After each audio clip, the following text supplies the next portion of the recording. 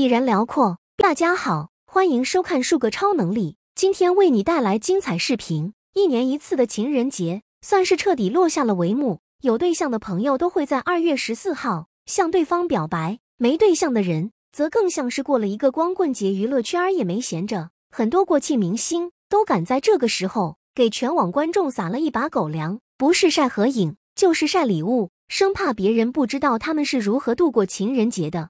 反观华语乐坛的劳动楷模周深则完全不同，几乎每年都会有一首全新作品跟歌迷朋友见面，无形当中承包了很多单身狗的欢乐。只要有周深的陪伴，绝大部分歌迷都会忘记自己还是单身。什么样的偶像就会有什么样的粉丝。作为一名正能量偶像，周深时刻都在影响着自家歌迷，向来都是以事业为重。事实也证明，只有年轻人时不停的奋斗，才能为将来的幸福生活。打下良好的基础，这一点在周深身上被体现的淋漓尽致。以他的实力来看，追求者绝不在少数。可出道这么多年以来，周深从未跟任何一名女明星有过绯闻，哪怕私下里只是同框亮相都没有过。唯一能跟 CP 一词有联系的，只有在《奔跑吧》中跟实力派女演员白鹿的活久见名场面，但也仅限于荧幕 CP。因为二人不论是节目内还是节目外，都是非常不错的私交好友。也就是说，周深目前还没有考虑自己的婚事，只想把大部分时间都留给舞台。由此一来，歌迷可以一直听到他的音乐作品。如果成家的话，作品数量以及新踪自然会大大减少，可见周深有多在乎生迷们的感受了。这也正是为什么大家都喜欢把周深称之为劳动楷模的真正原因。说起情人节，个人第一个想到的就是去年七夕节的时候，周深降维打击全网。一个人演唱了《我们的样子像极了爱情》整部电影的音乐作品。要知道，这是中国影史有史以来都没发生过的先例。别人受邀演唱 OST 主题曲都是为了挣钱，让自己获取一定的曝光率。周深则是为了兄弟情谊，尽自己最大的能力帮了好兄弟刘同。除此之外，还在片中客串了一个角色。尽管该片在豆瓣评分上勉强刚过及格线，但如果没有周深的加持，很难在短时间内脱颖而出，毕竟有绝大部分观众都是冲周深才走进的电影院。当然了，也有不少老粉想到的是周深之前在直播间演唱的《分手快乐》。表面上看，情人节唱这首歌确实有些违和感，但周深的天籁之音总能直击歌迷灵魂，带给我们的不同视听感受。今年则是不声不响的在微博上置顶了大热电视剧《三体》的主题曲《永恒孤独》，并且还配文。连说了三遍，请不要回答，每一句都加了一个惊叹号，一看就是他本人有感而发，无形当中戳中了很多粉丝的笑点。不少网友都直观认为，周深是在将情人节永恒孤独。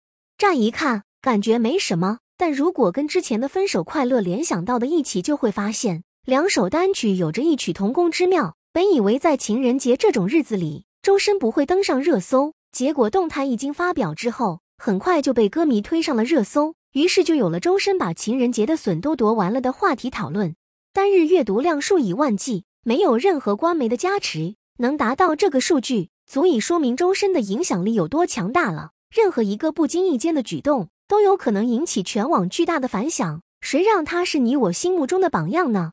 话说到这儿，周深情人节的高光时刻才讲了一半，没过多久。腾讯音乐有你榜就在平台公布了二零二三年得分最高的十首单曲，周深一人就占据了三个席位，又一次成为了入选榜单次数最多的华语歌手。分别有一世有成花开忘忧以及流浪地球二主题曲人世，其中人世的热度截止到目前为止还在不断上升当中，疯狂图榜热搜，先后刷新了多个历史记录，不仅跟正片一起走出了国门，还在北美圈了一大波路人粉。至于音综节目《时光音乐会》二一七比一期精彩胡夏专场结束后，最新一期节目中迎来看大姐大田震坐庄，同时也意味着该节目马上就要迎来收官之作了。不少歌迷都对《时光音乐会》二纷纷不舍，因为它承包了我们近日以来的所有欢乐，就像听周深的单曲一样，已经成了日常生活当中必不可少的一个部分。每次观看节目正片都是一种享受。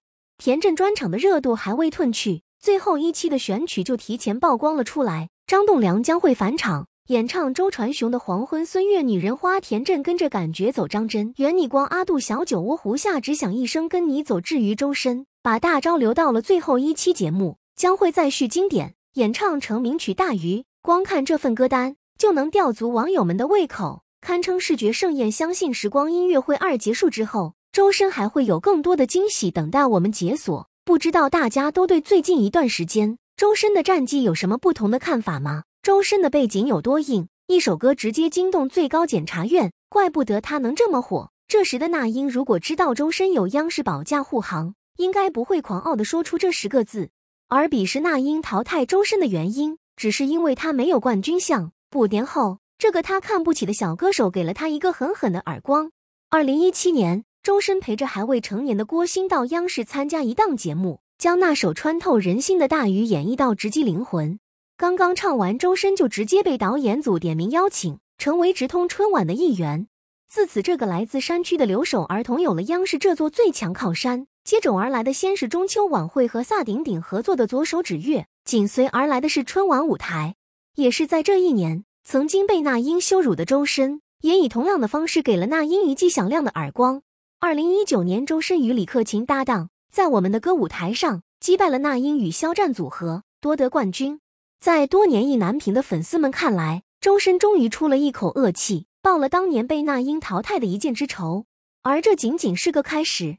二零二零年。周深挑战极限的一首《达拉崩吧》瞬间斩获上亿播放，让他没想到的是，第一个找上门的不是商务和代言，而是最高人民检察院。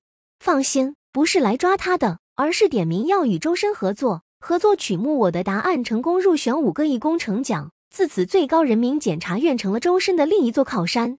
作为央视的宠儿，为国争光的事儿怎么能少得了周深？二零二一年，央视直接点名让周深代表中国歌手参加全球外交官中国文化之夜。这一夜，周深再次夺得最具影响力青年歌手殊荣。那个从大山里走出来，因为没有变声期而被人嘲讽为怪物的周深，似乎从来没想过自己还有这样的一天。少年意气，不过是赤心如初，他的翅膀已然辽阔。毕竟有些人生来就属于天际。好了，今天的视频就分享到这里了。更多精彩资讯尽在数个超能力。